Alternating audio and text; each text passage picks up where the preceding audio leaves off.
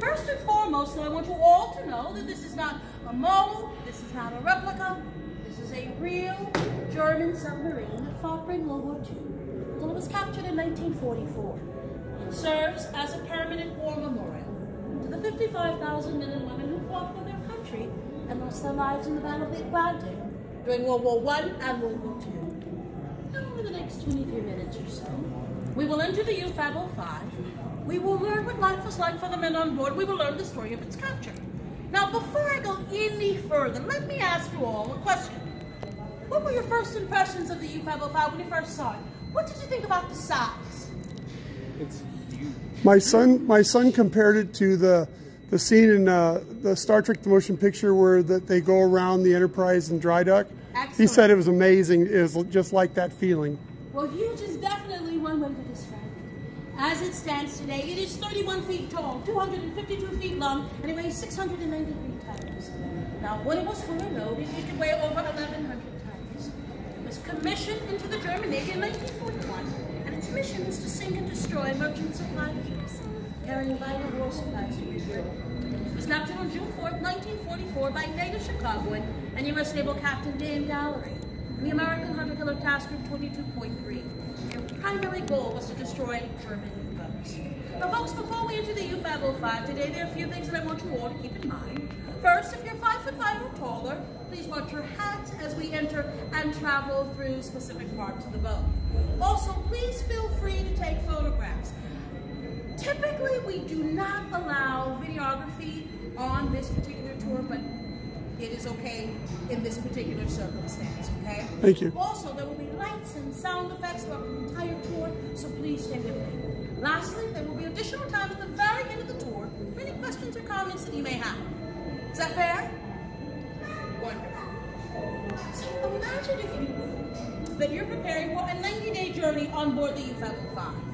What are the two most important things you think you'll need to take on board for survival? Just shout them out. Food and Water.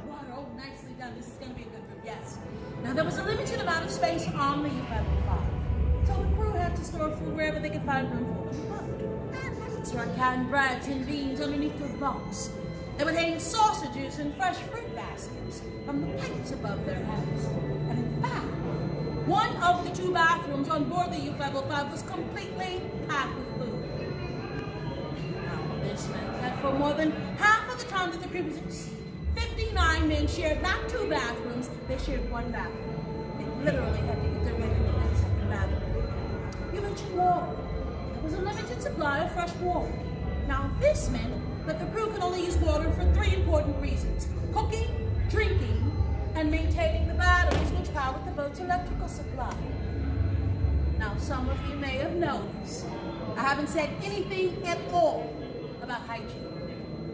Because for the 90 days at sea, they couldn't shave, they couldn't brush their teeth, they couldn't bathe. Instead, they swabbed with alcohol.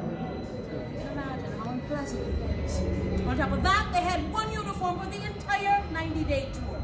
Now, if that was not enough, heat was another condition that made life on board the U-505 very, very difficult. Temperatures could reach up to 110 degrees in specific parts of the boat.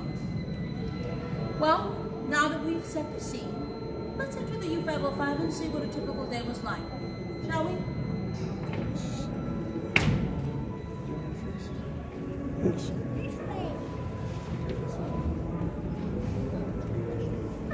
Come on, Joel. Come on, Joel. Can you let my son go first, please?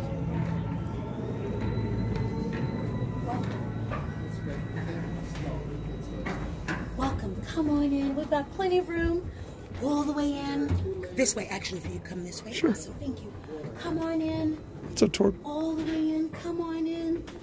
Come on in. If you go this way, excellent. I'm just going to pull this way. Oh. Thank you so much. So I'd like to welcome each of you to the petty officers' quarters. Now, this is where the petty officers or the middle-ranking men slept and spent their spare time. Now, this side of the U-505 appears pretty much the way that it did when it was captured in 1944. However, for your safety and convenience, we've made a few modifications. Now, the first thing that we did was we created this entrance that you all just walked through. Now, when the U-505 was in operation, the main point of entry and exit would have been through a hatch on the top of the boat. Also, we've lowered